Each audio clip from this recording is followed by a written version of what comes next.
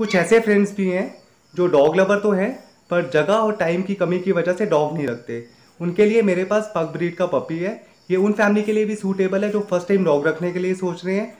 और इस ब्रीड की खासियत ये है कि इन्हें रखने के लिए कैनल नहीं बिल्ड करना पड़ता और छोटी ब्रीड होने की वजह से इन्हें हम अपने रूम में भी रख सकते हैं। पूरे दिन में इन्हें हमसे थर्टी मिनट की इंगेजमेंट चाहिए, वो भी पार्ट्स में। जैसे फाइव मिनट में इन्हें खाना डालना, खिलाना और क्लीन करना हो जाता है। और टेन मिनट की वॉक सफिशेंट है इनकी लेग स्ट्रेच और सुसु पॉटी करने के लिए। बाकी एक रूम से दूसरे रूम में भाग कर खेल कर ये अपनी एक्सरसाइज पूरी कर लेते हैं। और इसके अलावा टू मिनट की इंटरेक्शन जहाँ मस्ती काफ़ी है। इसी तरह 15 मिनट सुबह और 15 मिनट रात को इसी रूटीन को रिपीट करना है और उसमें अगर फैमिली मेंबर्स आपस में से डिवाइड कर लें तो हर फैमिली मेंबर के हिस्से में थ्री टू फोर मिनट का टाइम आता है डॉग की केयर के टू वर्ड्स पूरे दिन में। और अगर आप चाहें तो आप पूरा दिन भी स्पेंड कर सकते हैं।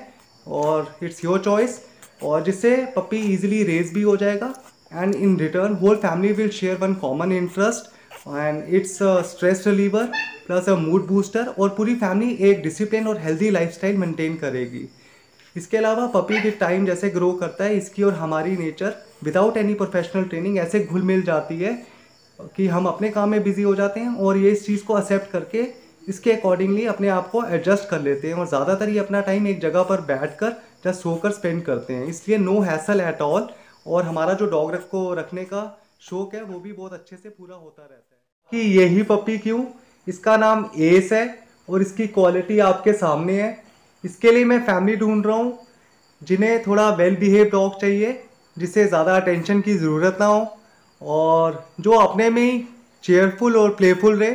तो ये परफेक्ट मैच हो सकता है आपके लिए। So please kindly contact at the number given below